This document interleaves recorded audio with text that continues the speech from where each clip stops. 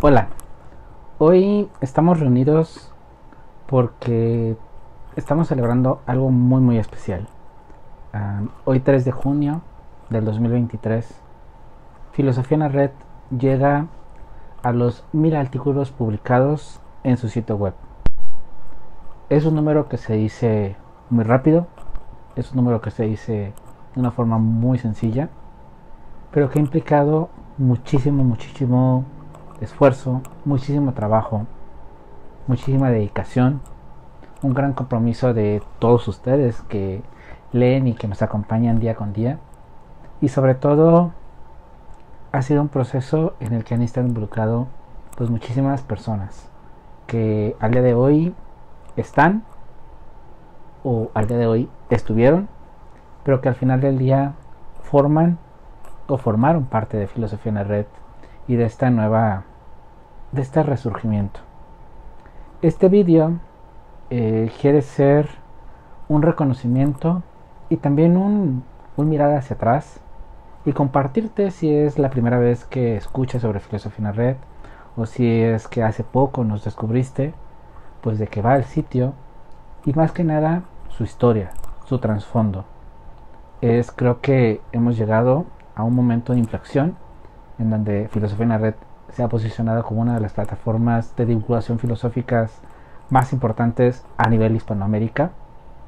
Y esto, con este hito de los mil artículos, creo que nos permite mirar hacia atrás ¿no? y reflexionar e indagar sobre todo lo que se ha logrado.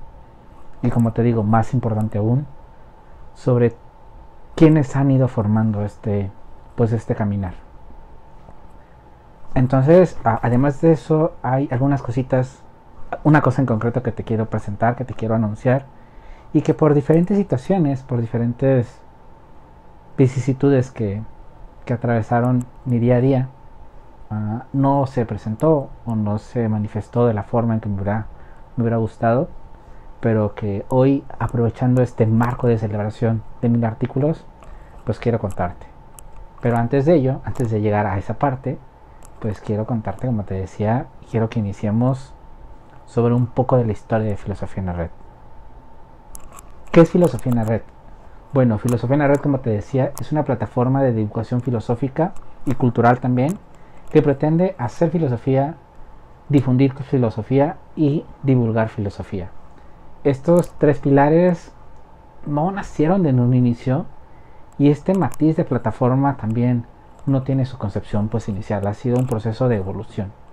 ¿Cómo nace Filosofía en la Red?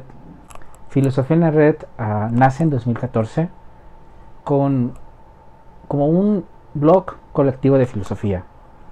A lo largo de varios años, del 2014 al 2020, Filosofía en la Red ah, fue pasando por ciertos procesos. Eh, en muchos de ellos yo no estuve muy involucrado, o no de la manera en que me hubiera gustado, y era un. como este diamante en bruto, era como esta. como esta criaturita que, que se crea, que se forma y que se deja a su suerte. Sí tenía un público, sí hubo un nicho muy importante, sí permitía crecer y sí crecía y sí evolucionaba de alguna manera, pero lo hacía de una forma muy pues muy innata, muy a su suerte. Fue como esta bolita de nieve que avientas en, en la cúspide de una montaña y ves cómo se va formando y se haciendo más grande. Aunque evidentemente esta bola no fue lo suficientemente grande porque dice un dicho por ahí que al ojo del amo engorda el caballo. Por lo tal, por más que el proyecto tenía buenas intenciones y por más que el proyecto era un blog colectivo de filosofía en donde los autores que formaban parte en ese momento publicaban cuando querían, como querían, se compartía contenido muchas veces era más un repositorio de textos de los autores que habían compartido y habían publicado sus textos en otros lados y simplemente los volvían a compartir en Filosofía en la Red. Y como te digo, es un proyecto que ahí va como entre repositorio, como blog, como algo con cabeza propia y sin cabeza al mismo tiempo y que no tenía pues mucho sentido. En 2020, en el marco de, de esta situación donde muchas personas estábamos recluidos en casa, donde llegó un momento de introspección, a mediados como a estas fechas concretamente, justamente como, como entre abril y junio, yo me replanteé mucho, muchas cuestiones. Una de ellas era que Filosofía en la Red tenía mi nombre ahí embarrado. Era Miguel Ángel Calderón, este, encargado, responsable, coordinador de Filosofía en la Red. Pero realmente, pues yo no estaba involucrado, realmente era algo que estaba allí. Y yo me replanteé, como te digo, y me empecé a cuestionar muchas cosas. Una de ellas era, pues, valorar qué es lo que estaba haciendo Filosofía en la Red y qué era lo que, pues, podía o no lograrse. Vi métricas, vi resultados y, pues, el sitio, como te decía, funcionaba, había visitas, la comunidad en Facebook crecía, la página en Facebook tenía sus likes, y era como que, bueno, hay un interés. Y fue en donde yo llegué a un momento en donde dije, hay dos opciones. O dejar que se muera Filosofía en la Red, eliminarlo por completo, eliminar el proyecto y dedicarme a otras cosas y pues quitarme este, esta calca de Filosofía en la Red que simplemente como te digo era una calca o replantearme yo y asumir el cargo al 100%. Esto era algo que yo no lo había hecho porque yo tenía mi proyecto de marca personal. Ah, desde el 2008 yo escribo en internet, así que ya denotarás mis canas y mis años. Y escribo cosas que tienen que ver con las humanidades, con las religiones, con la filosofía. Nació Blog de Miguel en 2008 como un proyecto en donde yo compartía lo que iba aprendiendo en la escuela, cuando estudié ciencias religiosas, cuando estudié Derecho, cuando estudié Filosofía. Iba, iba compartiendo con esos materiales, iba reflexionando y yo estaba muy, muy enfocado a Miguel Ángel que sé, el arroba Miguel Ángel que sé, mi página, mi proyecto, mi individualidad. Y evidentemente esto me hacía pues no estar ligado a filosofía en la red porque pues no podía competir con dos monstruos y no podía gestionar dos proyectos, no era como mi marca personal, filosofía en la red, qué hago, qué no hago y evidentemente había premiado 100% Miguel Ángel sé. Cuando yo llegué entre junio, como te digo, abril, junio, parte de julio, a estar repensando y a estar pensando qué es lo que tenía que suceder con Filosofía en la Red, y cuando decido y valoro y considero como un proyecto interesante y algo que realmente vale la pena mantener, decido desprenderme de mi proyecto Blog de Miguel. Decido desprenderme de mi marca personal, Miguel Ángel sé. Y decido entonces dar este salto de fe a lo que era filosofía en la red en ese momento. Era si bien un proyecto que tenía su público, era un bien un proyecto que tenía una base de usuarios de redes sociales y demás, pero al final del día era un proyecto nuevo, porque yo lo que iba a hacer y yo lo que quería hacer era ponerle realmente mi impronta, realmente transformar el proyecto y hacerlo mío en su totalidad, asumir las riendas en un salto, como te digo, en un salto de fe, en un salto al vacío. Tenía el respaldo de que era un blog que había iniciado en 2014, entonces tenía seis años a sus espaldas, pero no más. No era algo que trascendía, no era algo que tenía un impacto, no era algo que tenía una, un peso. Pero decidí dar este salto de fe en un primer momento y asumirme yo como totalmente responsable. Me formé, me capacité, aproveché que estaba, como te digo, estaba el boom de todo lo que era el trabajo remoto y demás. Entonces me empecé a capacitar con cosas como formación en trabajo de equipos, liderazgo y este tipo de herramientas, cómo trabajar en, remoto y demás, para tratar de entender cómo iba a formar algo que quería lograr. Porque mi intención no era simplemente invitar gente que escribieran y ya, como estaba, ¿no? Al final del día, como te digo, era un blog que cada quien escribía cuando quería y publicaba cuando quería. Había un día que se podían publicar 10 artículos, bueno, no tantos, unos 3, 2, porque cada quien lo hacía cuando quería. Hay otros momentos que pasaban días, semanas en donde no había nada, porque el autor tenía la libertad total de hoy decido publicar, hoy lo subo, yo lo publico sin un filtro, sin un control, sin nada. Y pues yo que no quería eso, porque era algo muy frío. Yo soy una persona que, como te digo, estudié ciencias religiosas, soy estudié psicología, entonces soy una persona que le gusta el contacto, que le gusta estar en, en, compañía, en cercanía con las personas. Y quise primero crear un grupo de autores, una comunidad, y que no seamos o que no fuéramos en ese momento simplemente una revista que recibe artículos y los publica y ya, y no hay más interacción. ¿Qué pasó? como te digo, tenía 6 años en mi espalda. Y cuando decido dar este salto, pues empiezo a invitar gente, ¿no? Abre una convocatoria. Primero invito a las personas que estaban, que tenían perfiles de autor, pues a este relanzamiento, en donde como te digo, no fue solo un bueno, a partir de hoy, pues Miguel Ángel ahora sí toma las riendas del asunto y ya, sino hoy nos vamos a comportar de esta manera, hoy nos vamos a comunicar en este lado, en Discord concretamente, hoy vamos a hacer esto, hoy vamos a buscar de esto y hacer lo otro, hoy vamos a darle un cambio, ¿no? Realmente vamos a relanzar filosofía en la red. Muchos autores, la mayoría, 99% de ellos, pues o no contestaron o se cantaron por el proyecto. Y empecé yo a buscar gente. Y aquí viene una pausa importante o una reflexión interesante, que es estas primeras personas.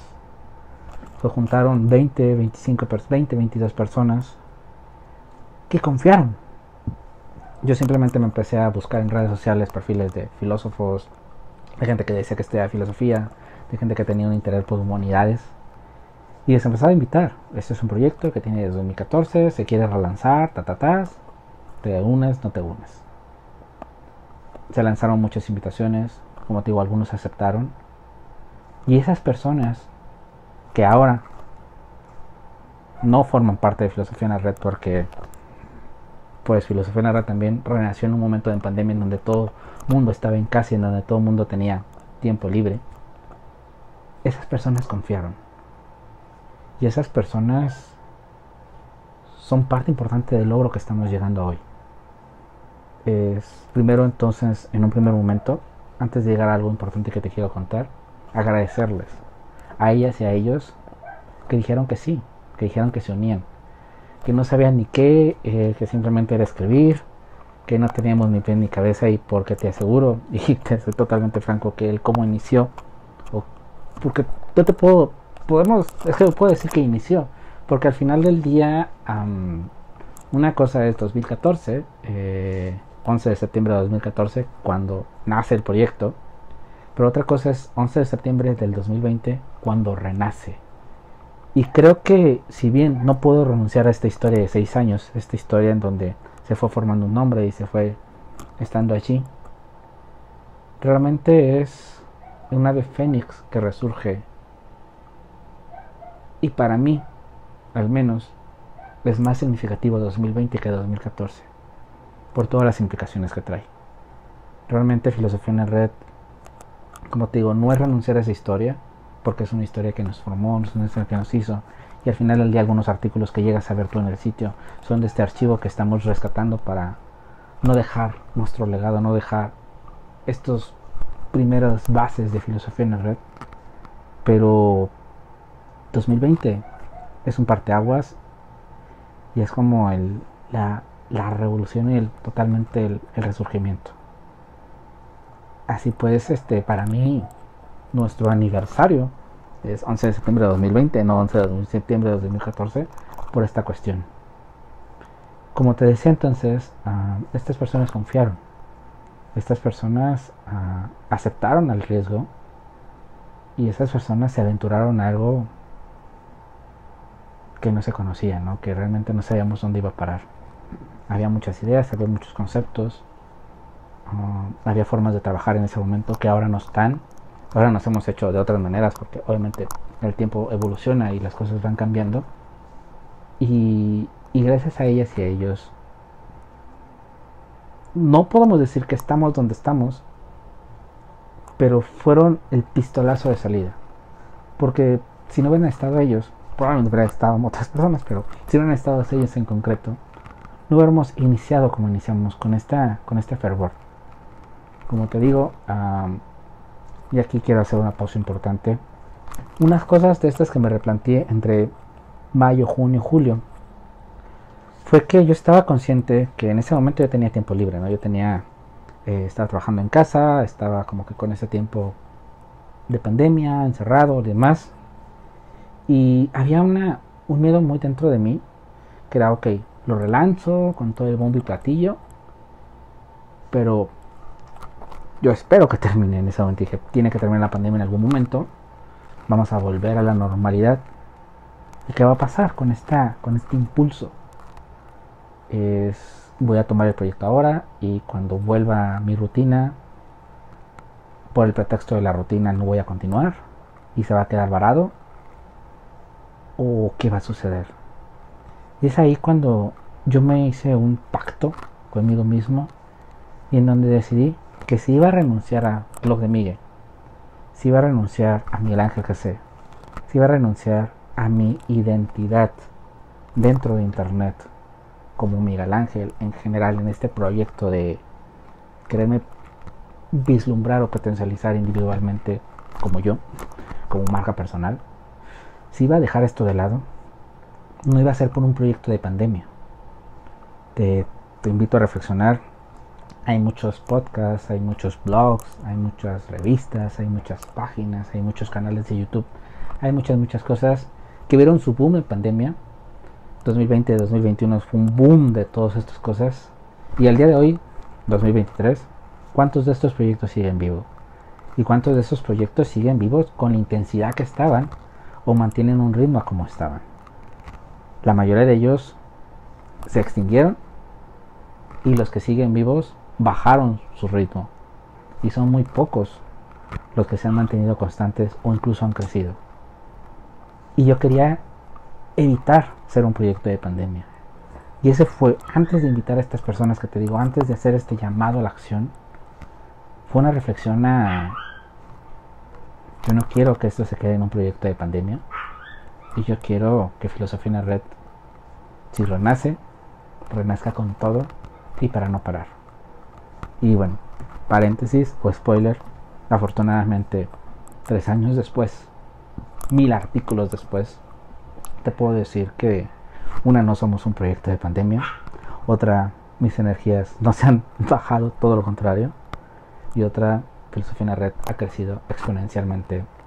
Gracias a los autores, sí, gracias a los textos de los autores, gracias a la fuerza que me dan los autores para motivarme a tener esta responsabilidad de, tener que publicar, tener que programar, tener que hacer muchas cosas, pero sobre todo gracias a ti que nos visitas y que nos lees. Paréntesis aparte, o quitamos paréntesis. Hago la invitación, se unen e iniciamos. Y arrancamos con tropicones y todo como todo buen nuevo proyecto reinicia. Como te digo, por eso es filosofía en la red es algo era en 2020 fue algo nuevo y algo un renacer y un nacimiento porque al mismo tiempo como era este lavado de y este, este renacer, de la misma manera era un aprender a hacer cosas. Aprendimos de muchas maneras, cómo nos comunicábamos, cómo se publicaba. En un primer momento mantenimos la ola de que cada quien publicaba cuando quería y como quería, y poco a poco fuimos perfeccionando muchas cosas. Ha habido muchos cambios en, el proceso de trabajo, y estos cambios implicaron que muchas personas que entraron en un primer momento con una dinámica se salieran porque no estuvieron conformes. Pero evidentemente tuvo que haber sido cambios, tuvo que ver, tuvieron que ver evoluciones en la forma en cómo trabajábamos, en la forma en cómo nos entendíamos y en la forma en cómo se organizaba todo. Porque pues vas aprendiendo, no vas, vas evolucionando con el paso y es algo muy bonito que te da una revista, que te da un proyecto, que te da algo que está vivo que es ir aprendiendo constantemente. Cada día implemento cosas nuevas, cada día surgen nuevas ideas y surgen maneras de tratar de pulir las formas en cómo se hacen las cosas, porque va uno aprendiendo, vas, ahora hay que hacerlo esto, antes hacíamos esto, pero es mejor de esta manera, antes hacíamos lo otro, antes ta ta ta ta ta, porque suceden cosas, ¿no? Porque va uno evolucionando. Filosofía en la red entonces renace, nace en 2020 y empezamos.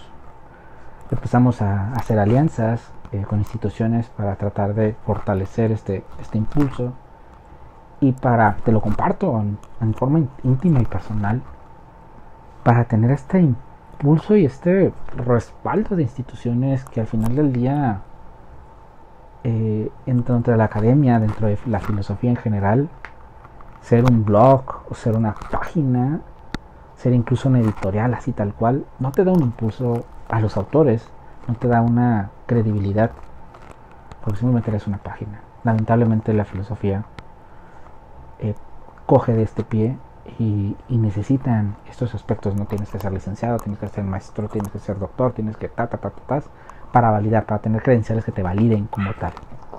Empezamos a tener alianzas, empezamos a generar cosas y el proyecto, digo, fue avanzando. Eh, empezaba a celebrar cuando nos leían 100 personas, 200 personas, 300 personas, cuando llegábamos a 10.000 visitas al mes.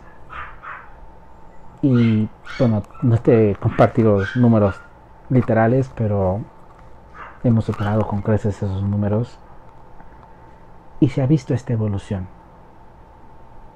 Y eso es lo que te quería compartir en esta primera instancia, el, reflexionar esta, esta historia. Y como te digo, ellas, esas personas que entraron en septiembre, noviembre, diciembre del 2020, enero del 2021, febrero del 2021, y así, fueron dando la identidad a más o menos qué es lo que se iba formando. Fuimos de ser un blog colectivo de filosofía que veníamos arrastrando desde 2014, después fue un espacio plural de diálogo, todo 2021 y parte del 2022, y ahora somos una plataforma de divulgación filosófica. Cosas quizá muy sencillas, pero que en el trasfondo explican mucho. Porque ya no es simplemente gente que escribe, ya no es simplemente un lugar donde se comparten ideas, sino es un espacio, es un lugar, es una plataforma que expulsa conocimiento y lleva reflexión a las personas. Ya no solo nos hemos quedado con esta parte de un autor, un autor escribe algo, sino al mismo tiempo también propiciamos e impulsamos a que ese algo llegue a más personas. Ha sido, como te digo, es un, es un crecimiento y eso es algo que lo que te quería compartir. Digo, 2020 fue este proceso, 2021 fue el año de crecimiento, el año en donde empezamos a, a descubrir cosas, a cambiar. Una de ellas fue que revisamos los textos, se programan, ah, se va evolucionando en este, en este caminar. Nacieron podcasts, eh, letras habladas, que ahorita está como varado. No sé qué vaya a suceder con él, pero está allí. Filo charlando, un programa de entrevistas que se mantiene. Uh, Viaje al pensamiento, un programa de debate que teníamos los autores y las autoras. Y bueno, se empezaron a empezar a, crear estos proyectos paralelos en donde mi yo inquieto no se quedaba quieto, valga la redundancia, y empezaba a idear cosas, empezaba a maquilar cosas, empezaba a imaginar cosas y a ver qué filosofía, lejos de simplemente, eh, no era simplemente el espacio en donde, bueno, publicas y eran 100 visitas al día o 200 visitas al día o 500 visitas al, no sé, 10.000 visitas al mes, sino un mes eran 10.000, otro mes eran 20.000, digamos como que en este crecimiento, mi yo interno, mi yo creativo, comencé a ver pues que esto iba creciendo y que necesitaba más y más. Era un pequeño monstruito que se empezaba a alimentar y necesitaba más. Y fueron haciendo muchos proyectos. Como te digo, estos podcasts, estos programas en vivo, las transmisiones en directo también. Y entonces 2021 fue este año de crecimiento. 2022 fue un año de fortalecimiento, un año donde ya poco a poco nos estábamos estableciendo, en donde poco a poco nos fuimos robusteciendo, en donde lanzamos nuestra revista, a nuestra revista digital, en este ímpetu de transmitirle a la humanidad, de transmitirle al mundo de la academia, de transmitirle a todas las personas que no solo se divulga filosofía ni se difunde filosofía, sino también generamos filosofía y los autores generan filosofía. Y es como nace nuestra revista. Adquirimos también un ICSN que es algo muy importante a nivel pues académico, en donde nos reconocen como una publicación periódica. Este ICSN nace y se le otorga al sitio y a la revista. Y poco a poco nos empezamos a formar y poco a poco nos empezamos como que a tener más estructura. ¿no? Esto, bueno, esto simplemente como un blog donde escribíamos textos esporádicamente, después a escribir textos de forma continua, a luego tener una revista. Algo que no te comenté y que se me pasó es que al inicio, cuando renace Filosofía en la Red en septiembre de 2020, aquí hubo una meta. Una meta que afortunadamente llegó más o menos pronto, pero que lo importante no era haber llegado a esa meta, sino mantenerla. Y que afortunadamente la hemos mantenido. mi meta fue poder publicar un artículo al día. Nosotros, yo quería tener al menos 30 autores, 30 autoras, para que así cada autor escribiera un texto al día y lográramos 30 textos diarios. Hoy publicamos 30 textos al día, a veces hay días que se llega a publicar algo más y tenemos más de 70 autores de 7 países diferentes. Pero esa fue una meta principal. Nunca me imaginé un número. Nunca vislumbré un número. Pero hoy en 2023, 3 de junio, llegamos a mil textos. Y desde acá, desde quien los programa, desde que vio nacer el primer post, el primer artículo, es un número impresionante. Son muchísimas palabras, son muchísimas ideas. Y son mil artículos. Quizá para otras publicaciones pueda parecer muy corto, ¿no? Sitios de noticias, sitios de demás, porque al final del día publican más de un texto al día. Nosotros esporádicamente publicamos dos. Eh, los 8 de marzo publicamos todo el día, durante el transcurso de todo el día. Se llegan, a, se llegan a publicar entre 18 a 24 artículos. Es una pasada y es totalmente un disfrute, pero un desgaste increíble. Pero imaginar que algo que inició entre junio, mayo, en mente, que quise renacer, que quise retomar, ahora llega a mil artículos. Es, es mágico. Es, es increíble. Y eso es lo que te quería compartir hoy. Agradecerte y, que seas parte de esto, ¿no? Que seas parte de, de algo que quizás no estás tan consciente porque, bueno, al final del día tú ves lo que se publica en el sitio, tú ves los textos pulidos y trabajados, no te, no, no te comparto a lo mejor ahorita pantalla y nada, pero todo desde la visión del editor, del responsable, del haber tenido este pequeño, esta pequeña bolita que te decía de, de nieve, haberla arrojado, pero haberla acompañado, estarla acompañando y ver que ahora es una inmensa bola de nieve. Es wow. 2022, como te decía, era un año de un año de consolidación. 2023, un año de transformación, de, fortalecimiento. 2023 es un año de consolidación. Un año en donde, bueno, a lo largo de 2022 publicamos nuestro armario, que fue nuestra primera publicación en físico, una colección de textos. Nació la Filoconf, concretamente, eh, porque en 2021 celebramos la filosofía solo con tres mesas como eventos 2021 se fortaleció, 2022 se fortaleció este evento y se hizo algo más serio, se hizo algo más estructurado, salió el armario. Y 2023 sale una revista, la tercera, pero sale en formato físico. Esto es un hito, porque nos consolida ya no solo como un sitio de internet, ya no solo como un lugar para escribir, sino como un, no como un editorial, porque al final del día no, hacemos, no somos la editorial, nos publica Amazon, publicamos a través de la autoedición de Amazon. Pero al final del día, eh, ver algo escrito y reflejarlo en físico cambia la vida y le da un plus a nuestro trabajo. Y eso es la segunda parte que te quiero comentar y lo que te decía, que es la presentación de nuestra revista en físico.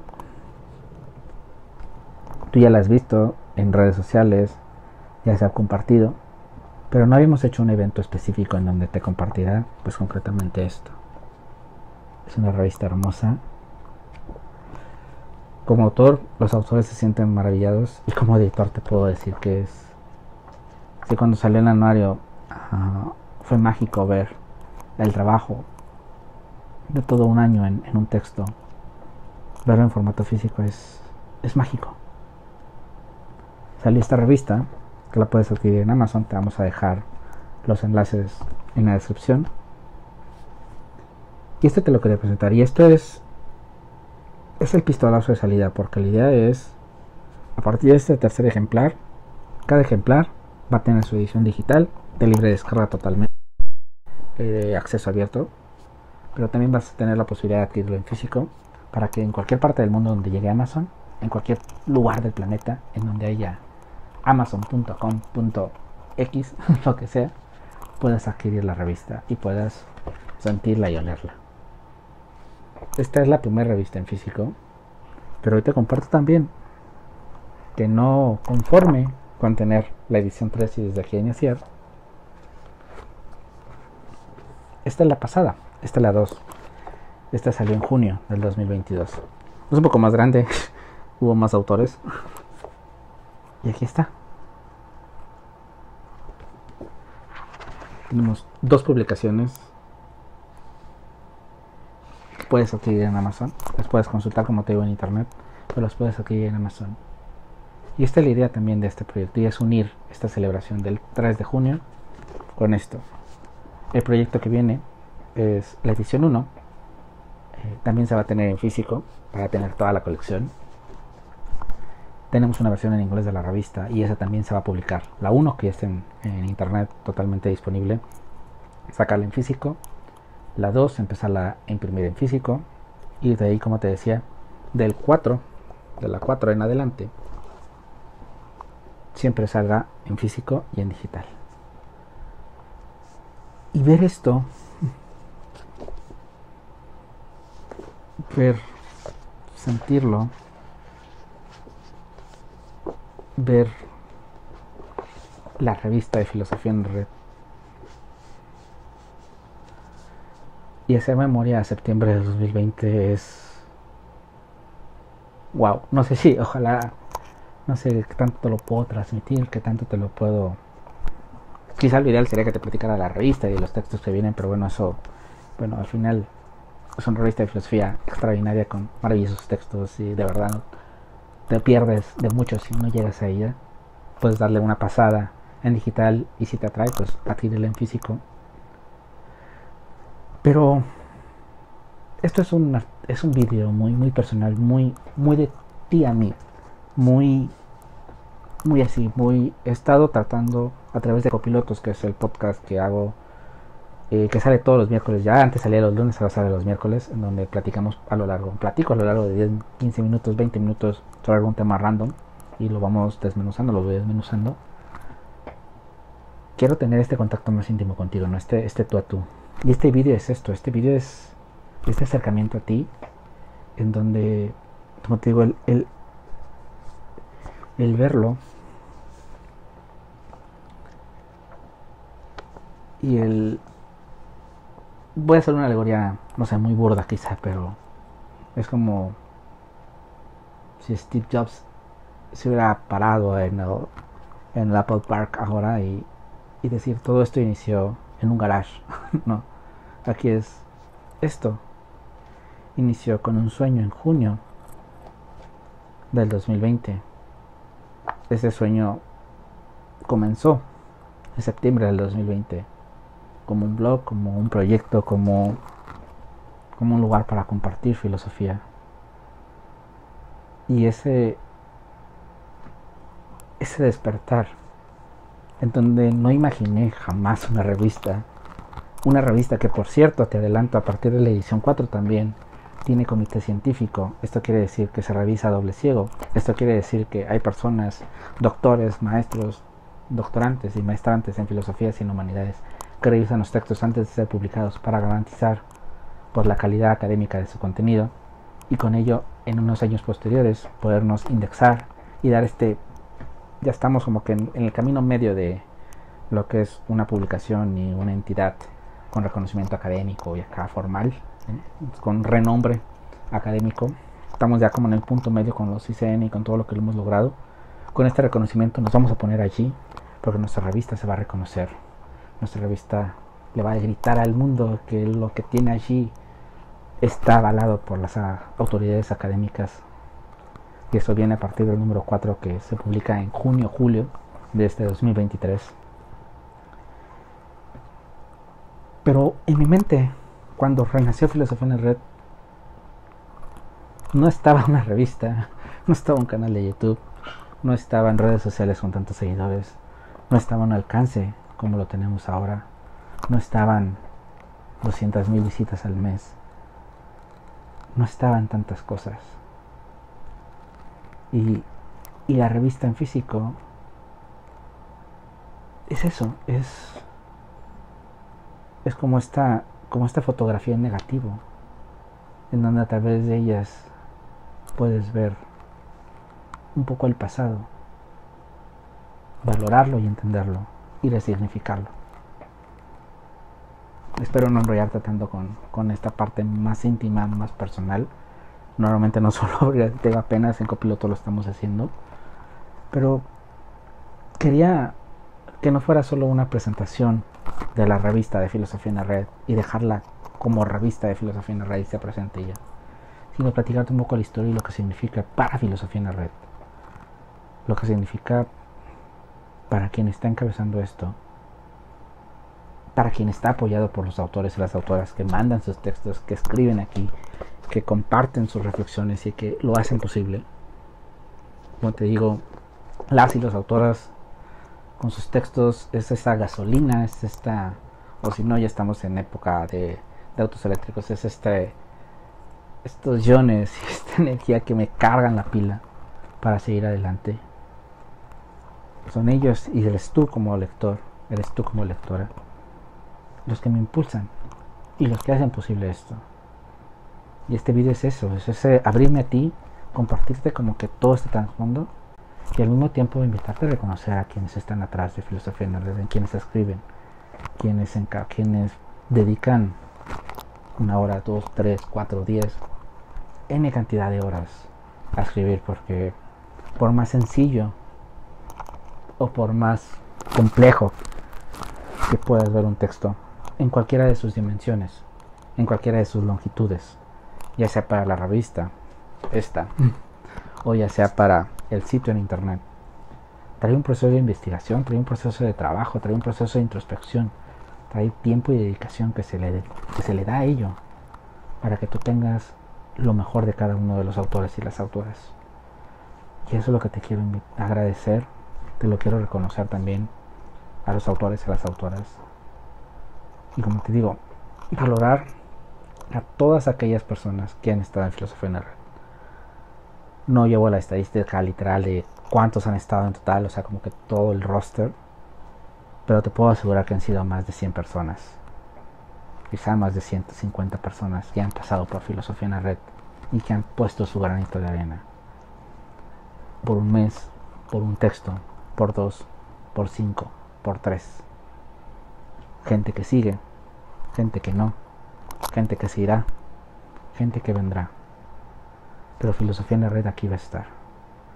Filosofía en la Red quiere ser este espacio, esta plataforma de educación y este lugar para que puedas compartir tus reflexiones y para que puedas encontrar reflexiones de toda índole, con respeto y tolerancia, con pluralidad, con diversidad y con entrega. Gracias por estos mil textos.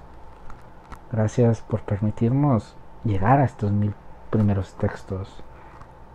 Reflexionando y reflexionando, tengo, hay varias celebraciones, y una es el 11 de septiembre como aniversario de Filosofía en la Red, y ahora el 3 de junio como los primeros mil artículos. No me quiero poner aquí cuando vamos a llegar a los 2000 o cuando vamos a llegar a los 10.000, porque no, no quiero funcionar así. Pero internamente te comparto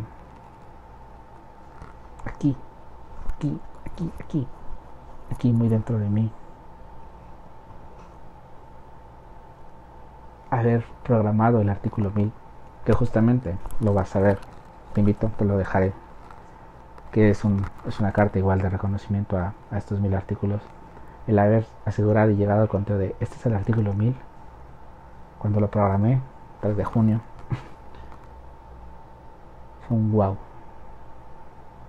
Gracias, vida. Gracias, filosofía. Gracias por permitirme llegar hasta acá.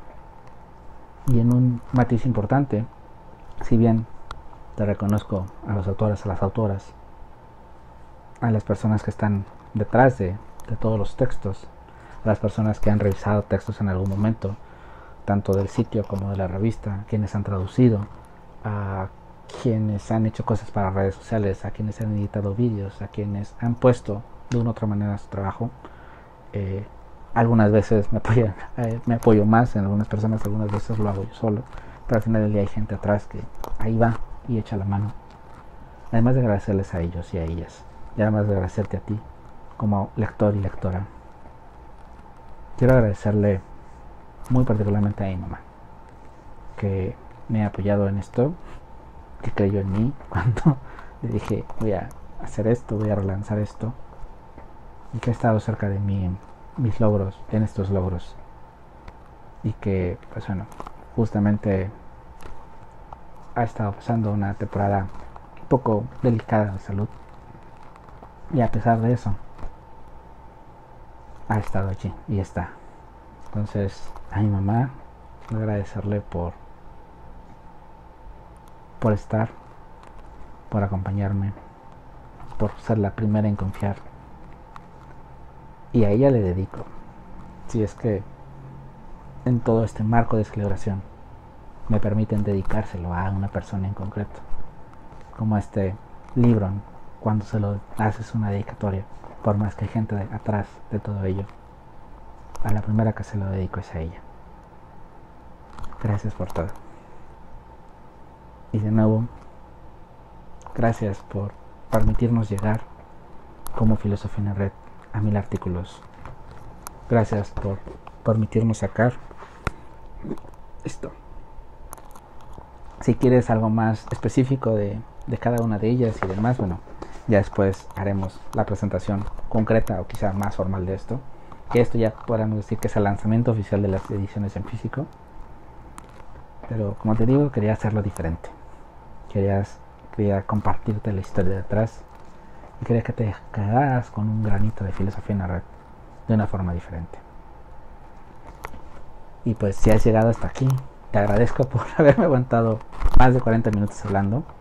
Espero que te haya gustado lo que te haya compartido. Igual, si tienes algo que decir, algo que comentar, me lo hagas saber.